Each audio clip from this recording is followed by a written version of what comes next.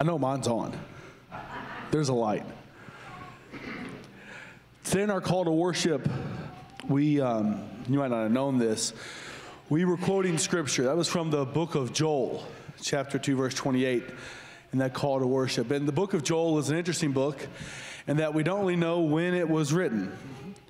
It could be anywhere between 250 and 500 BC. That's a gap. Like, that's a, you never, it, it could have been before Nehemiah, it could have been after Nehemiah. Nehemiah could have been aware of it. Nehemiah may have no, no idea. But in this passage, we see the same theme of God giving people a dream. So this is what it says. And afterward, I will pour out my spirit on all people. Your sons and your daughter will prophesy. Your old men will dream dreams, and your young men will see visions. After what? Afterward. After what? It was before Nehemiah. I'm sure Nehemiah thought after we rebuild the temple, this will happen. If it was after Nehemiah, it doesn't really work up in the sermon that way. It doesn't help. Instead, we as Christians have a different understanding. We believe, just leave it up, just put it back up. Leave it up there the whole time. We're going to talk about this, this scripture a lot. We as Christians have a different understanding. We believe that this happened, that this will happen when the Messiah comes. When the Messiah comes and everything is put back the way it's supposed to be. And actually, if you, if you know your scripture, this did happen. You see, there's this, this, this holiday in the church called Pentecost when the Holy Spirit was sent down by Jesus into the world. And they're all in this room and it, it shakes and there's a, a blowing wind and it says fire comes upon each of them. And they go out to the street and they're preaching and Peter goes out, it's okay, it's okay. And Peter quotes this passage. This is supposed to be what happens when the Spirit comes. God's Spirit will pour out. Children will prophesy. Adults will dream dream. Well, maybe Rick will dream dreams. Old men. Um, if you thought you were going to get past that without Wellington being here, I'm sorry. This is the kingdom of God that God's plan has worked and all is right. That's what this signifies. And in the Old Testament, we have dreams and visions, but now this is for all people, not just the prophets and not just certain individuals. This is for all people. This is a secondary blessing. You see, the first blessing that's supposed to happen in, in Joel is that God's supposed to fix it all. God's supposed to fix what's broken. And so often we as Christians stop at the first blessing, right? I'm going to hell, I'm a sinner. Christ comes to save me. I'm no longer going to hell. It's fixed. And we stop at the first blessing. But there's a second blessing. This is the inauguration of how God's going to change how he deals with his people. And that's what we're reading today. God will pour out. What's interesting is, so often we think of this as, as a controlled pour.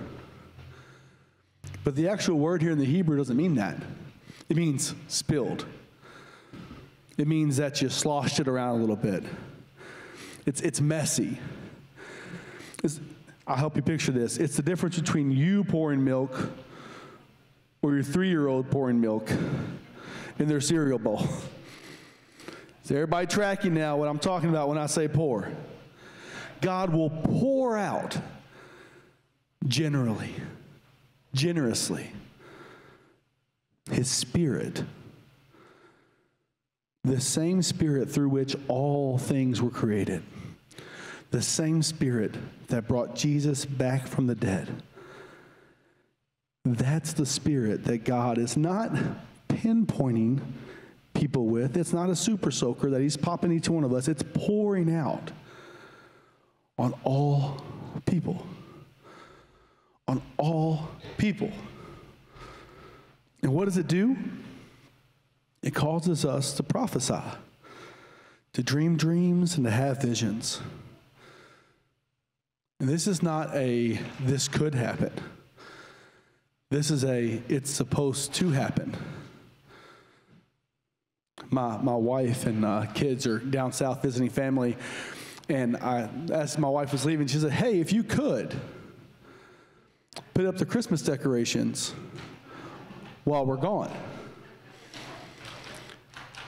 That's not a if it might happen. That's a, it's supposed to happen. It's the same concept here. This sermon series we're calling Daring to Dream. And we believe that God has promised He would give us dreams and visions for His kingdom in our world. That God will give you a vision, a, stirring, a calling, whatever verbiage you want to use for His kingdom. And that God may have already done that. But if not, that God will do it. You see, Nehemiah heard of Jerusalem's plight and he prayed, right? And God gave him a dream. But I'm willing to guess this. I imagine a lot of people had that same dream. I imagine a lot of people in Jerusalem were like, man, wouldn't it be nice if our city wasn't destroyed? it would just be swell if we had walls to protect our family. I imagine a lot of people had that vision. But Nehemiah had a dream, and he was obedient to it. And that obedience is terrifying. That obedience is, is what sets Nehemiah apart. Obedience is what changes the life of Nehemiah and the entire people of Israel. Because I promise John or Joseph or some other name, I can't think of a non biblical name that might be in the Bible. I don't know. What do you think, Doug? Doug might have had that dream. But Doug was like, yeah, maybe one day. It went about his life. Nehemiah had a dream and he followed it, he was obedient to it. And now we have a book in our Bible called Nehemiah.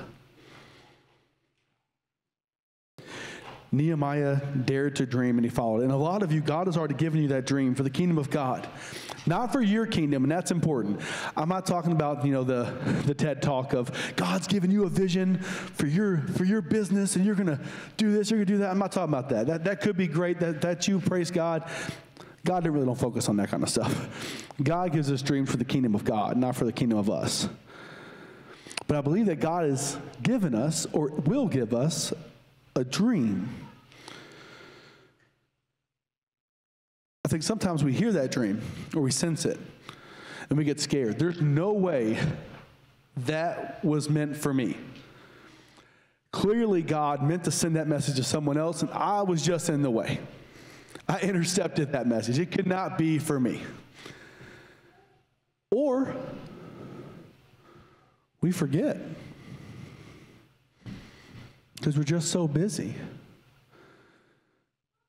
See, so many people think that a spiritual attack is when some awful thing happens in your life. That the number one thing that the enemy does for us as God's people is to put good things in front of us because it blocks us from the best things. It blocks us from the God's things. It, it, well, I just don't have time. Well, I don't, doesn't God know my schedule? We got basketball practice tonight. I can't possibly. so we get busy. We get fearful. Or we just forget. And as we do that, we're stuffing that dream lower and lower. And God is patient, He waits.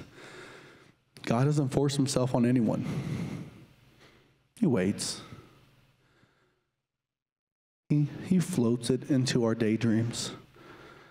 He convicts us with that dream whenever we hear a sermon or hear a song it reminds us of God's glory. But He waits for us to respond. Daring to dream means we must be good stewards of our dreams.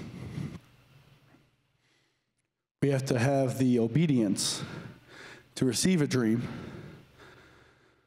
and then follow it. Recognizing that it's not on us, it's on God to complete it. The Spirit's going to equip us and give us the power. It's not on our own ability. Because if we're honest, our dreams that we make up on our own are pretty lackluster. But in Scripture, every time God gives a dream, it doesn't make sense. Nehemiah, build the temple. Joseph, take this woman who is pregnant as your wife. It's okay. what? Every time God gives us a dream, it's not something we would dream normally. It's bigger, it's grander, and our obedience is the key. We have to be good stewards of the dreams that God gives us. Here's why that dream could be for you. More often than not, that dream is for someone else. And your obedience could change people's lives. Nehemiah was obedient. Jerusalem was rebuilt. And God's people had a place to come home to. And maybe you, not being obedient to the dream that God has given you, is stopping other people from having a home to come back to.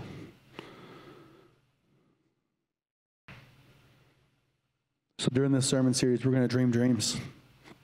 And here's a question I want you to ask yourself What dream has God given me? Because it's going to happen. It's going to happen. God is going to give you a dream, you a vision, you a glimpse of what the kingdom could be. And can I tell you a secret? Oftentimes, the people who matter don't matter when it comes to dreaming. Brian and I could have a vision, a dream, that's usually not as big as it's supposed to be. But when you have a dream and a vision, that's what spurs the church forward. That's what brings the kingdom closer. Because leaders, we have these things we call egos that get in the way, or the my jobs that get in the way. And that's why God's never once said, I will give pastors a dream.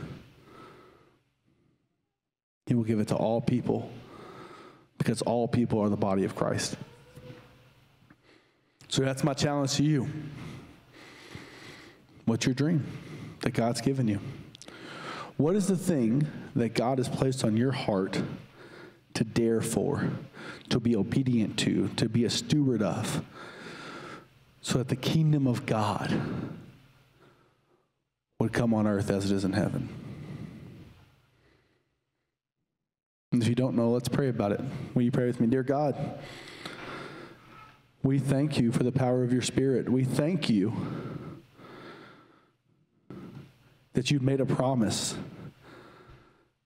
to pour it out on us, God, to give us dreams and visions, to show us how we get to work with you in the bringing of your kingdom.